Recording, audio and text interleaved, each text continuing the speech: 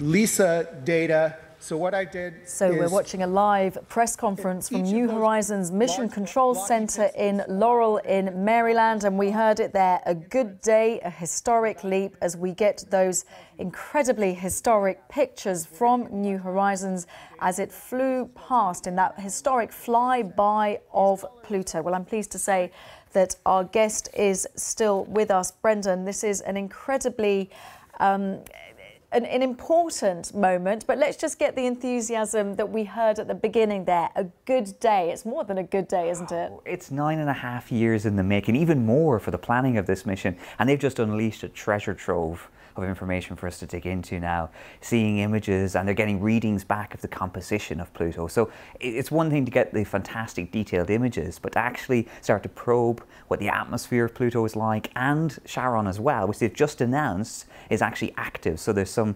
geological activity happening. These are not cold, dead worlds in space. There is actually some, uh, you know, tugging and pulling between them. Yes, they got very excited to say that um, that that it is active. Just explain. So Charon, what what what is that in terms of Pluto? So Charon, actually, we, we think of it as, uh, we've, we've called it technically a moon of Pluto, but actually we found by looking at it over time with the Hubble Space Telescope and New Horizons that it's more of a binary dwarf planet. So the two of them orbit around and dance around each other.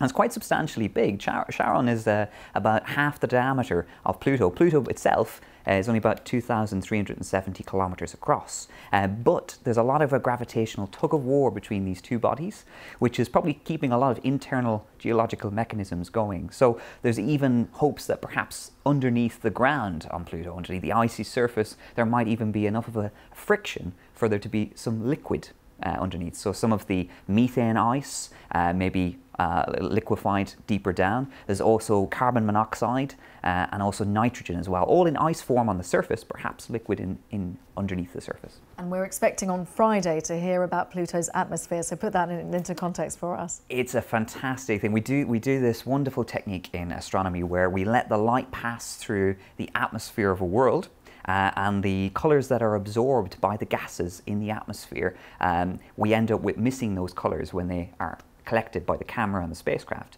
And we get a sort of chemical fingerprint. So it can actually tell us what gases are in those atmospheres. Um, so we've practiced this with things like the transit of Venus before, uh, but that's happily sitting here on Earth been able to do it. This is a spacecraft out there nine, uh, about 5 billion kilometers away doing this all pre-programmed as well. Uh, and because of the time delay between the signals of four and a half hours for messages to be received, uh, this, the, the engineers and the scientists have have laid very well laid out plans. They've exercised this mission perfectly. It does certainly seem so. Now, we also heard um, speak of Hydra not being a planet. What does that mean? so I think they were it's a little tongue in cheek with that one because uh, the rules of a planet that we have, one of the key rules is that a planet should be roughly spherical. and we so saw we have there this, it wasn't. Yes. Definitely this sort of more lumpy potato shape. Uh, so they're definitely saying this cannot be classified as a planet. Um, and Hydra is one of those ones. Like they mentioned, they didn't have any real fix on its diameter. Somewhere uh, between uh, I think 40 kilometers and 100 kilometers across. Now we know it's about 28 miles across. So we actually have a good fix on that.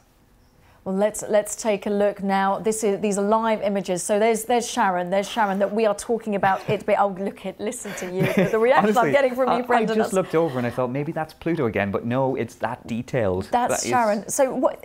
It's it's um, Pluto's largest moon, which has been active. So we, again, just what does that mean? Are we talking about life here? Uh, not in terms of life, but geological activity. So uh, sort of non-living, um, you know, processes taking place. So we can see there's a, a, cracked surface as well. There may have been some stress and strain on this world. There also, we're going to try and figure out as well what happens with that top part. You can see it's quite dark. So usually the darkening uh, of a surface means that uh, the radiation from the sun has darkened it over time. Um, but why the rest of it is so fresh, that's something we'll have to explore.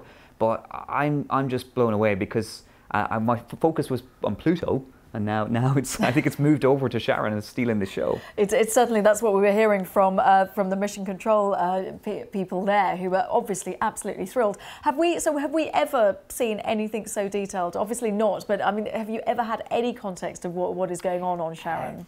Not not this geological activity, and the thing I'm really curious to hear is if. Uh, even though Charon is um, half the size, if it has a tenuous atmosphere of its own as well, maybe even uh, that there's some interaction between the atmosphere of Pluto and the atmosphere of Charon as well, because Pluto and Charon are about 20 times closer than our moon is to our Earth. So they're very quite tightly knitted together um, around. And uh, what I love is if you look along where the nighttime side of Charon is, you can see the craters and there's some shadows that? on there. So if you uh, look at the bottom, uh, bottom right in particular, right you can definitely see it's wonderful. Uh, the sunlight is shining on the walls of the craters that are going up high and then dipping down. You've got the the shadows that give you that uh, the curved crescent shadows and indicate the, the deep craters. The, the, Brendan, the dark patch on the top. Of course, we saw recently those images of that like heart-shaped patch on Pluto mm. itself. What's this? What, what, do you think is this dark patch on top of Charon? Well, potentially, it's older material that's been bombarded by solar radiation for a longer time that can darken the material. So that's a possibility. One thing's for sure, this has uh, seen a lot of activity over time in terms, of probably a lot of objects smashing into poor old Charon and Pluto as well. Uh, which has shaped its surface, shaped its uh, geology. Now, we are not seeing, that isn't Brendan Owen from the uh, Greenwich Royal Observatory. That is, of course, uh, live images from uh, the Mission Control Centre for New Horizons. But, Brendan, just continuing this conversation, it's taking, how long does it take for these images to come down? Around four hours or so? Yeah, so the transmission is about four and a half hours, but actually there's a small data stream as well. The way I've been describing is it's about 500 times slower than the old uh, dial up internet that we used to have before broadband. So, very, very small trickle feed of information that's coming back all together. And this is actually what we're seeing now, even though it's spectacular detailed, this is a teaser because all the data that's left to be downloaded, it will take about 16 months altogether to gather everything, wow. gigabytes of data. I wonder if we can get see an image of what we once had before New Horizons came up. I, I wonder. Finale. So I'm not sure. Was this? Th these are these are the most latest. So this is the heart, and even even I know that NASA were uh, doing a heart. Uh, a heart, I heart Pluto, uh, where you can cash in where you can. It works, yeah. But um, so that's from Tuesday's approach towards mm -hmm. it. So what we get now are um, we get a chance to when it's on the nighttime side to actually see the sunlight passing through. So um, we have all these wonderful bodies in the solar system that we've explored, and do you know what we'll see? Actually, probably a lot of pictures might in the uh, coming days will be in false color, which will amplify different chemical elements on Pluto. So we're seeing different worlds here across this uh, Venus when it's stripped away from its atmosphere, our wonderful planet Earth.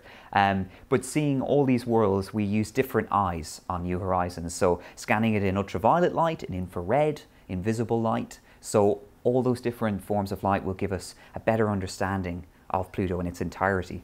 And ultimately, what will you do with that information, apart from get incredibly excited, rightly so, but what, what, what will you use this for? Well, what Pluto represents, and its moons as well, they represent this outer edge of the solar system, the Kuiper Belt, which is uh, a very, very icy region of the solar system, somewhere where we're getting an insight into um, the uh, genesis of the solar system, how our planets came together. Investigating something like Pluto will give us a, a little look back into the history of the entire solar system. Um, these days, we're actually looking beyond our solar system at planets around other stars and uh, we are trying to figure out where we've come from. And um, especially analysing the types of ices that we find uh, on Pluto and its moons, give us an idea perhaps even of where the seeds of life might come from.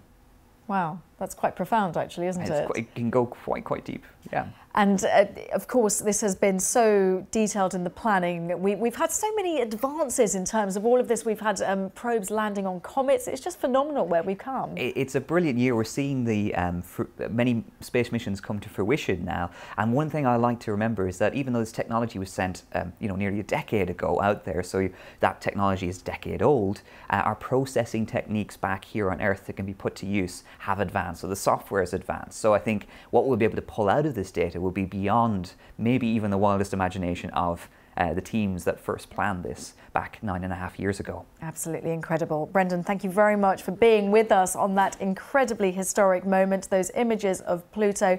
My favourite comment, oh wow, when you first of all saw those images, absolutely priceless. Brendan Owens, astronomer from the Greenwich Royal Observatory right here in London, thank you very much.